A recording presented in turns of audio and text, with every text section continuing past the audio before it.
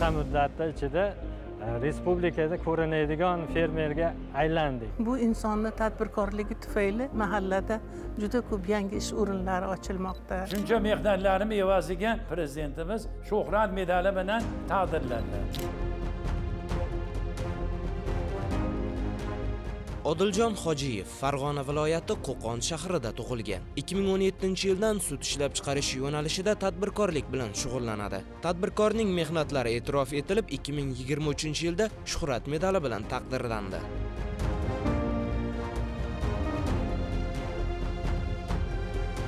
Dadam aytardilarki o'g'lim siz oliy dargohlarga kirishga harakat qiling. O'shanda mancha xursand bo'laman sizdan. deb doim shu to'g'risida gapirardilar. Toshkentga bordim? Oshpazlikka. Topshirdim. Texnikumda o'qib o'shani bitirib attestat olgandan keyin keyin kelib oshpazlik bilan shug'ullanganman.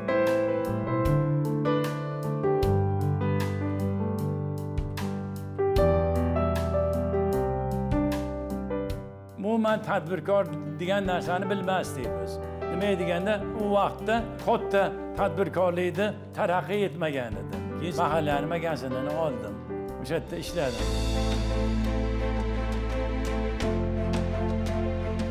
harakat qildim yonikomda olgan bilimlarimni sekin sekin ro'yobga chiqarish maqsadida do'konlarda ishlab hamma yo'l yo'riqlarni bilib o'zim alohida mahsulotlarni olib kelardim. Sekin sekin tadbirkor bo'lib boshlatib borganman 2017 yilda faoliyatimni noldan boshlab qisqa davrda yirik tadbirkorga aylandim deydi odiljon hojiyev. 2017 yildan tadbirkorlarga yo'l ochilyapti. Uncha chorvani bilmasdik. Noldan boshlaganman. Bir yildan oshiq deganda molxona bitdi.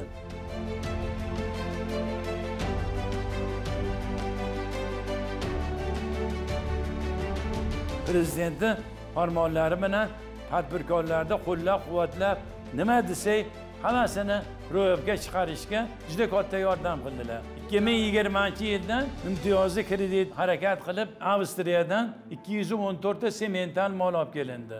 uch yuz yigirmata germaniya bilan chexiyadan golshteyn degan mollar olib kelindi. Qora mollarni soni ming boshdan oshdi.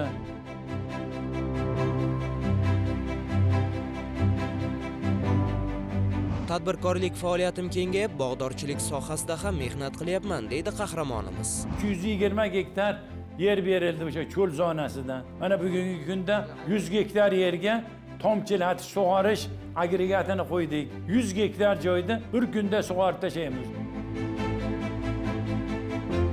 Yuz nafardan oshiq kishilar ishlayapti qo'limda. Uch to'rt milliondan oylik oladi. Er xotin ishlaydigan bo'lsa kamida olti million yetti million daromad bo'lyapti ularga. Ishchilar hammasi mamnun. Odiljon hojiyev o'z faoliyatini 15-20 nafarga yaqin ishchi xodim bilan boshlagan bo'lsa bugungi kunda 100 nafarga yaqin ehtiyojmand aholining bandligini ta'minlagan. Odiljon akam boshchiligida mana shuncha narsa qurildi.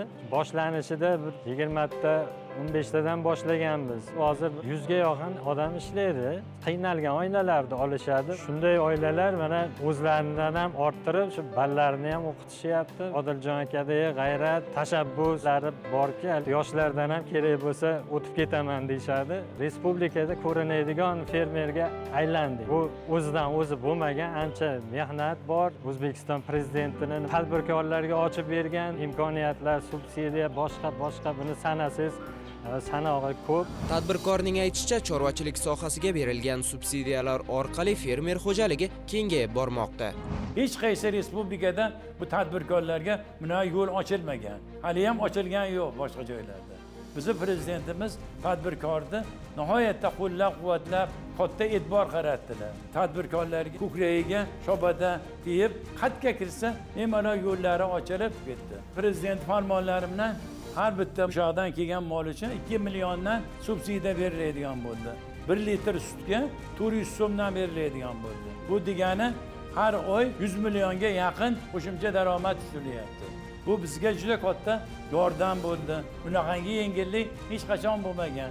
Chorvaga nihoyatda katta yengilliklar ochilib ketdi. Prezidentimizga ming rahmat. Nihoyatda bizga katta sharoitlar qilib berdilar.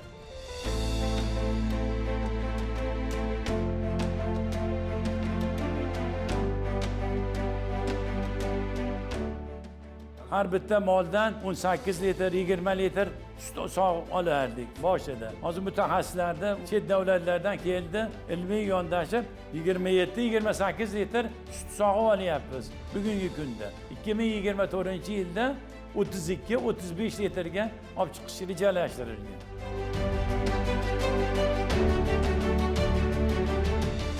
2021-2022-da aylanma mablag'imiz 5 milliardgacha chiqqan bo'lsa 2023 yil oxirigacha 10 milliarddan 15 milliardgacha boradi xudo xohlasa. Shuncha mehnatlarim evaziga tadbirkorlar kuniga prezidentimiz davlat mukofoti shuhrat medali bilan taqdirlandilar bundan man juda katta ruhlanib ketib ikki ming yigirma to'rtda go'sht mahsulotlari sut mahsulotlari ishlab chiqarishni harakatdamiz. hozir yuz o'rin bo'lsa ikki yuz o'rindan ishchilar soni ko'payadi odiljon hojiyev nafaqat tadbirkorlik sohasida ko'zga ko'ringan ishbilarmonlardan balki mahallada namunali oila boshlig'i. Qolaversa tadbirkor jamoat ishlarida faolligi bilan ham mahallasida katta obro'ga ega.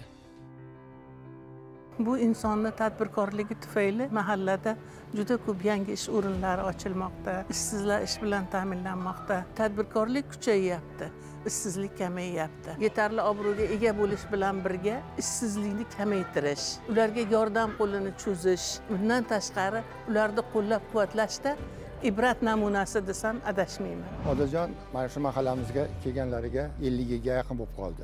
Odajon mahallani ma'rakasi to'yida katta xizmat qiladi. Ishbilarmon qancha qancha odamni ish bilan ta'minlayapti.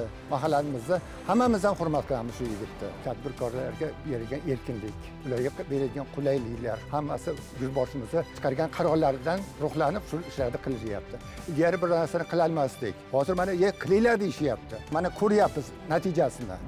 Eng baxtli tadbirkorlardanman deydi odiljon hojiyev. Man bugungi kunda eng baxtli tadbirkorman deyishga yuz foiz ishonaman nima deganda prezidentimiz bizga juda katta yo'llarni ochib berdilar.